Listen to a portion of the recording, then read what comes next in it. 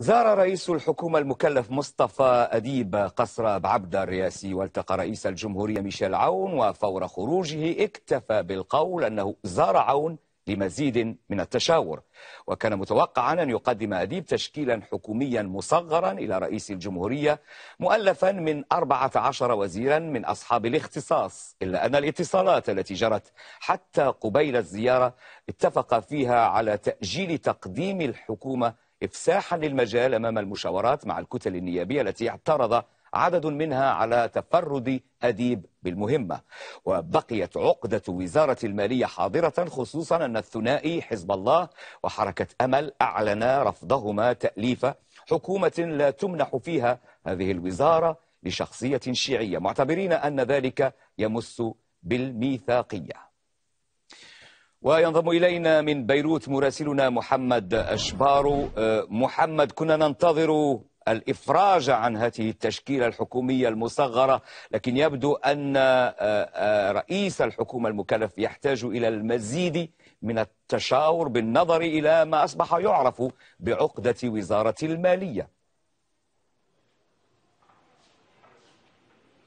كمال. فعليا في لبنان عادة ما يعني الربع ساعة الأخيرة عادة ما تكون حاسمة على صعيد آه، الملفات السياسية آه، عموما خصوصا على صعيد تأليف آه، الحكومة. كما ذكرت كان من المتوقع أن يقدم رئيس الحكومة المكلف مصطفى أديب تشكيلته الحكومية المصغرة من 14 وزيرا إلى رئيس الجمهورية ميشيل عون إلا أن الاتصالات التي جرت في الساعات يعني منذ ليلة أمس حتى صباح اليوم قبيل زيارة مصطفى أديب وصلت إلى إلى مخرج المزيد من التشاور. فعليا حاليا هذه الاتصالات أيضا دخل على خطها آه، الفرنسي وخصوصا الرئيس مانويل ماكرون الذي أجرى في الأيام الماضية سلسلة من الاتصالات بعدد من القيادات السياسية في الداخل اللبناني في محاولة واضحة لتأمين غطاء لهذا آه، آه، الحكومة. لكن هذا المخرج يمكن القول أنه كان الوحيد منعا للدخول في سيناريوهات معقدة جدا هنا إما قبول رئيس الجمهورية للحكومة وبالتالي ممكن إسقاط هذا الحكومة لاحقا في مجلس النواب. فجاء هذا المخرج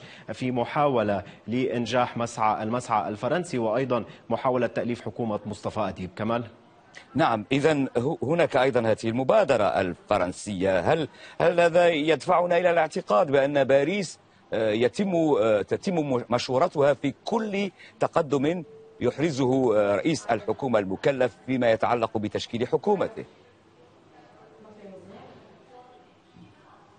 تماما تماما كمال. يعني هنا الأجواء تشير إلى أن الفرنسي على خط التأليف من الفه حتى يائه حتى كان على خط تكليف مصطفى أديب تأليف الحكومة. الاتصالات التي أجراها إيمانويل ماكرون شخصيا بعدد من القيادات السياسية منهم رئيس مجلس النواب نبيه بري. وتحدث عن عقدة وزارة المالية مع رئيس مجلس النواب آه، آه، نبيه نبيه بري. ولم لم يصل إلى أي نتيجة حتى الساعة في هذا آه، الملف. ثمة إصرار واضح لدى الثنائي حزب الله وحركة أمل على إسناد هذا الحقيبة لشخصية آه، شيعية تحت شعار الميثاقية والتوقيع الشيعي إضافة إلى توقيع رئيس الجمهورية ورئيس الحكومة خصوصا أن أي قرار حكومي يصدر يوقع عليه وزير المالية إضافة إلى آه، رئيس الجمهورية ورئيس الحكومة. تاليا المشاورات في الأيام المقبلة ستكون آه، يعني ستتركز حول وزارة المالية بالأساس.